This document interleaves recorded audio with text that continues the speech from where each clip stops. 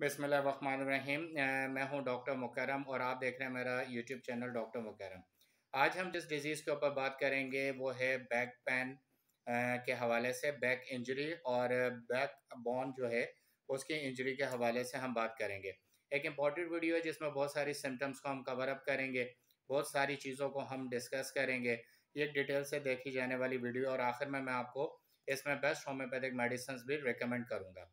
Backbone injury और backbone pain आज कल जो है वो मैक्सिमम लोगों का ये इशू है और ये बड़ा ही क्रिटिकल है। ये जो आपके बैकबोन का पूरा इशू है सर्वाइकल से लेके नीचे लोअर बैक तक, ये पूरा वर्टिब्रल कॉलम जो है, जहाँ पे रीढ़ की हड्डी में मुख्तलिफ़ कॉलम्स होते हैं, ये पूरी बॉडी को मेंटेन करता है और बॉडी के बहुत सारे पार्ट्स को जो है, बहुत सारे ऑर्गन्स जो है, ये एक्टिव भी करता है और बहुत सारी डिजीजेस को भी ये जनरेट करता है। तो इसका मेंटेन होना सबसे ज़्यादा इंपॉर्टेंट है। जितना ज़्यादा ये मेंटेन रहेगा, उतना ही ज़्यादा आपकी बॉडी मेंटेन रहेगी और फिजिकली हेल्दी रहेगी और फिजिकली हेल्दी वर्क भी करेगी।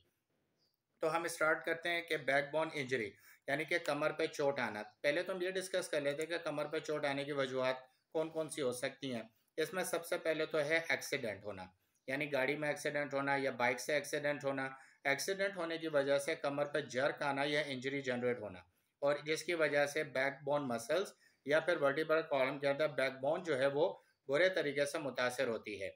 और ये इसका पहला इशू है जिसमें हम एक्सीडेंट को डिस्कस करते हैं। सेकंड चीज़ है फॉल गिरना। अमूमन मर्द और ख़वान या अमूमन ख़वातीन या बड़ी उम्र के अफराद घरों के अंदर स्लिपरी फ्लोर्स की वजह से स्लिप हो जाते हैं और गिरते हैं और कमर पर चोट आती है। अमूमन ये इशू टॉयलेट में या वॉशरूम्स में भी होता है और ख़ास तौर पर सीढ़ियाँ उतरने में घरों में जो स्लिपरी स्टेयर्स होती हैं वहाँ से स्लिप होने की वजह से बैकबोन के ऊपर शदीद किस्म की चोट आती है। तो सेकंड कॉज हमारे पास फॉल का यानी गिरने का, उससे भी जो भी इंजरी जनरेट होती है, हम इस वीडियो में डिस्कस करेंगे। तीसरा कॉज है गन शॉट यानी कि बाज़ दफ़ा हादसे के अंदर अगर गोली लगी है और गोली लगने की वजह से कमर के अंदर इंजरी जनरेट हुई है तो उस कॉज को भी हम यहाँ पे डिस्कस करेंगे। एक और है स्पोर्ट्स इंजरी यानी खेलने के दौरान इंजरी करना। इसको रिलेट कर लें डोमेस्टिक वर्क से भी। यानी कि खातन का घर में काम करते हुए, पानी का काम करते हुए, कपड़े धोते हुए, बाल्टी उठाते हुए, अचानक से जर्क स्प्रेन टाइप की, मोच टाइप की एक जर्क आता है जो कमर को बिल्कुल भी पैरालाइटिक कर देता है और दर्द की शिद्दत को बढ़ा देता है। तो ये भी एक टाइप है जिसके अंदर कमर जो है वह बैकबोन या बैक मसल्स जो है वो बहुत ज़्यादा मुतासर होते हैं और वो पेनफुल हो जाते हैं।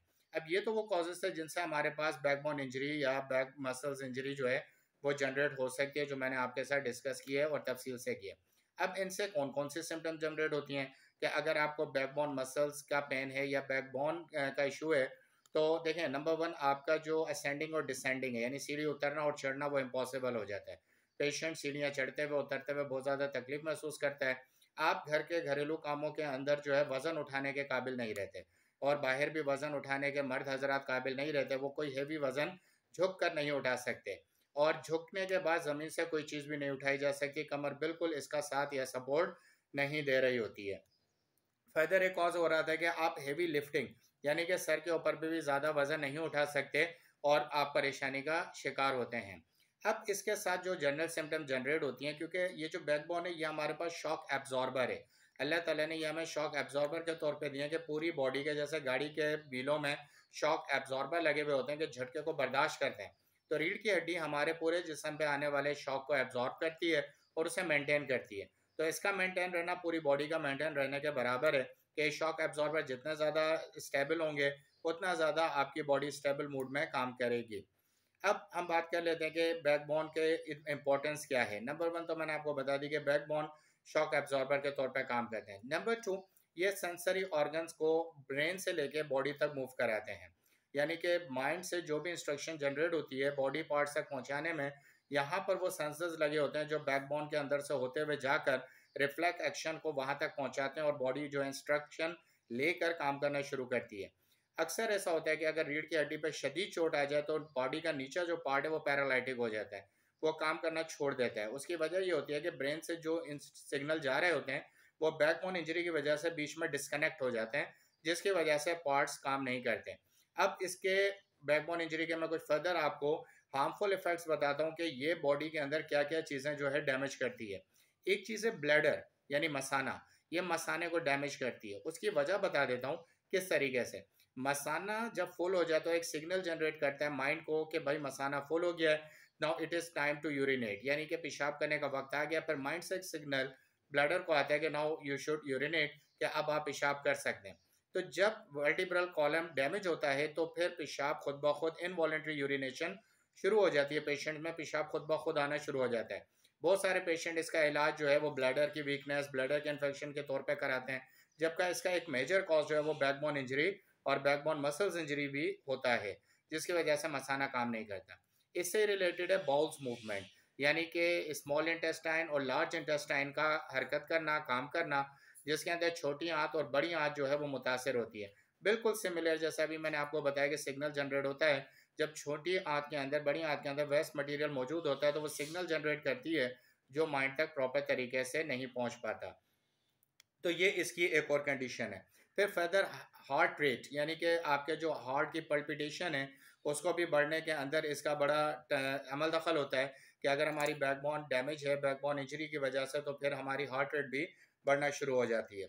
और एक सबसे इंपॉर्टेंट चीज़ है, वो है मसल्स मूवमेंट पूरी बॉडी के मसल्स मूवमेंट के ऊपर बड़ा गहरा असर आता है, अगर आपको सर्वाइकल पेन हो रहा है तो इसका मतलब ये है कि सर्वाइकल पेन इसी कंडीशन में हो रहा है कि आपकी सर्वाइकल नर्व जो है वो डैमेज हो गई है और आपकी जो वर्टिबल कॉलम्स हैं बोन्स हैं, उनके ऊपर बहुत ज़्यादा इंजरी का असर आया है।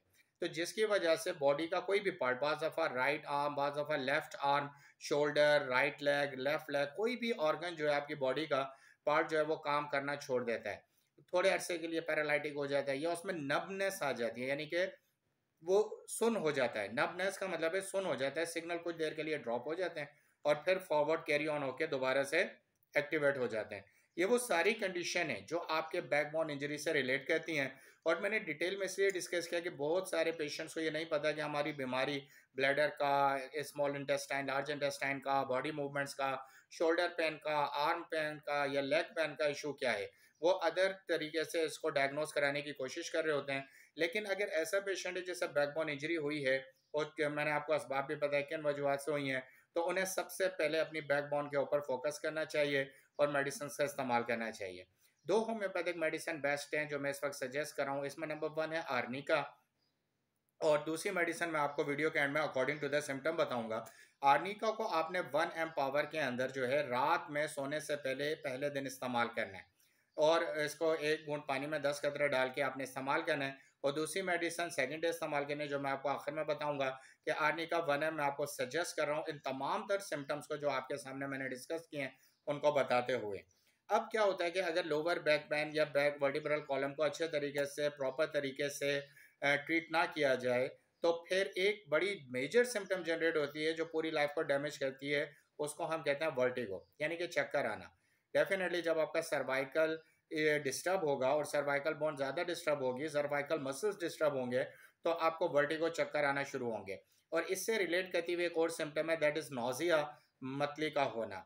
मतली होना और चक्कर आना एक कॉमन जनरल सिम्टम हो जाती है, जिसमें आपकी वर्टिब्रल कॉलम बहुत ज़्यादा इफेक्टेड होती है। अमूमन पेशेंट्स को ये नहीं पता चल रहा होता कि मेरे चक्कर आने की वजह, वो जनरल वीकनेस पे जा रहे होते हैं एनेमिक कंडीशन पे जा रहे होते हैं, जिसमें रेड ब्लड सेल कम हो जाते हैं, वो ओवर एक्जर्शन या ओवर वर्किंग की तरफ़ उनका जहन जा रहा होता है, जबकि इसके पीछे एक मेजर कॉज जो है वो आपका बैकबोन इंजरी होती है बैक मसल्स इंजरी होती है। तो इसमें वर्टिको और नोजिया चक्कर और मतली का पैदा होना एक जनरल सिम्टम है, जो कि इशू आता है। अच्छा अगर इसको प्रॉपर तरीके से ट्रीट नहीं किया गया जो आगे जाके स्ट्रम्बलिंग यानी कि लड़खड़ाना, एक मेजर सिम्टम इसकी जनरेट होती है, कि ऐसा पेशेंट अपने आप को बैलेंस नहीं कर पाता और वो लड़खाना शुरू करता है। वो बार बार गिरता है, वो चोट खाता है और वो छोटी छोटी ठोकर से मुकम्मल तौर पर ज़मीन पर आके गिरता है।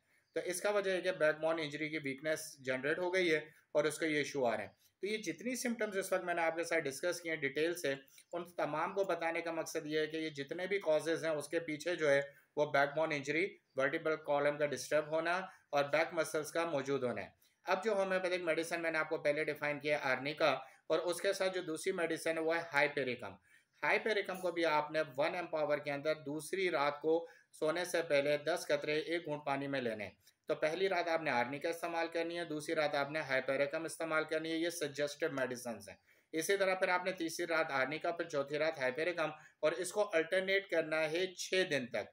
यानी तीन खुराकें आपकी आर्निका की हो जाएँ और तीन खुराकें आपकी हाइपेरिकम की हो जाएँ। इसके बाद आपने तकरीबन छः दिन का गैप दे देना है और दोबारा से छः दिन इसको इसी प्रोसेस से रिपीट करना है। तो उसके बाद आपने इसको स्टॉप कर देना है। और इन उम्मीद करता हूँ कि आपको इन मेडिसन से जो सजेस्ट की जा रही हैं, बहुत ही गहरा और बहुत ही बेहतरीन फ़ायदा होगा और आप इस पेन से निकलना शुरू हो जाएँगे। तो जैसे ही आप इस पेन से निकलना शुरू हो जाएँ तो आप इसको फर्दर इसी गैप के साथ कंटिन्यू कर सकते हैं।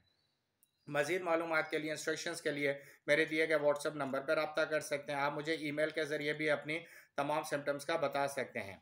आखिर मैं एक बार ज़रूर बताऊँगा, ये तमाम तर इन्फॉर्मेशन जो आपको दी गई है, ये मेडिकल इन्फॉर्मेशन है ताकि आपको अपने मर्ज़ की आगाही हो जाए, आप अपने मर्ज़ को समझने लगें।